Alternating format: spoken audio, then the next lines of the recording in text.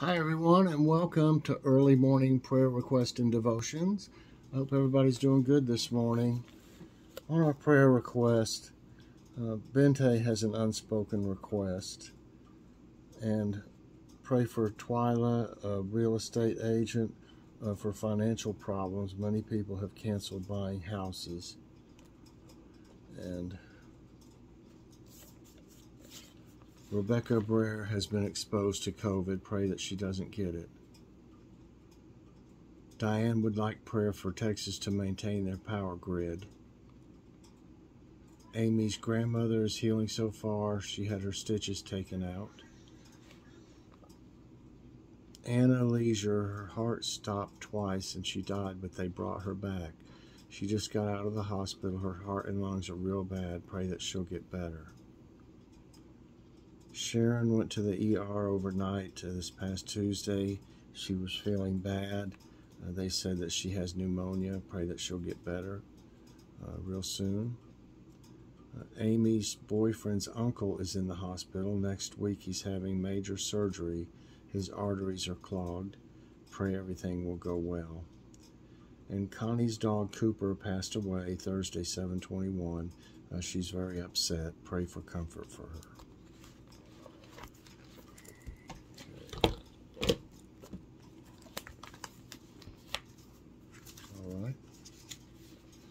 Our scripture of the day comes from Joshua 22, 21 through 27.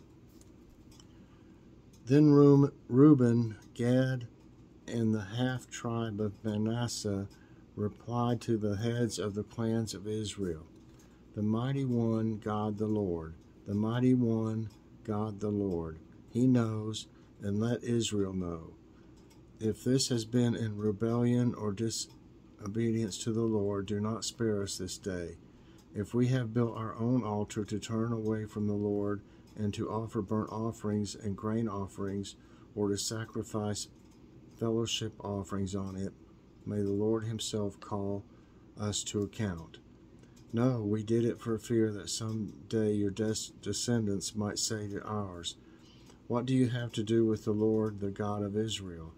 The Lord has made the Jordan a boundary line between you, you Reubenites and Gadites. You have no share in the Lord, for so your descendants might cause ours to stop fearing the Lord. That is why we said, Let us get ready to build an altar, but not for burnt offerings or sacrifices. On the contrary, it is to be a witness between us and you and the generations that follow that we will worship the Lord at his sanctuary with our burnt offerings, sacrifices, and fellowship offerings. Then in the future your descendants will not be able to say to ours, You have no share in the Lord. Okay. All right. Our uh, devotion today is entitled God Knows. A couple who stopped to admire a large abstract painting noticed open paint cans and brushes underneath it. Assuming it was a work in progress that anyone could help create, they stroked in some color and left. The artist, though, had purposely left the supplies there as a part of the finished work's display. After reviewing video footage of the incident, the gallery acknowledged a misunderstanding and didn't press charges.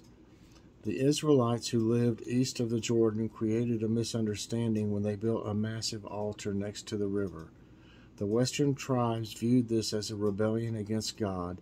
Everyone knew the tabernacle was the only God approved place for worship. Tensions mounted until the eastern tribes explained that they only meant to make a replica of God's altar. They wanted their descendants to see it and recognize their spiritual and ancestral connection with the rest of Israel. They exclaimed, The mighty one God, the Lord, he knows. Thankfully, the others listened. They saw what was going on, praised God, and returned home.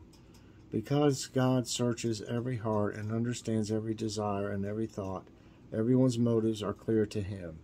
If we ask Him to help us sort out confusing situations, He may give us the chance to explain ourselves or the grace we need to forgive offenses.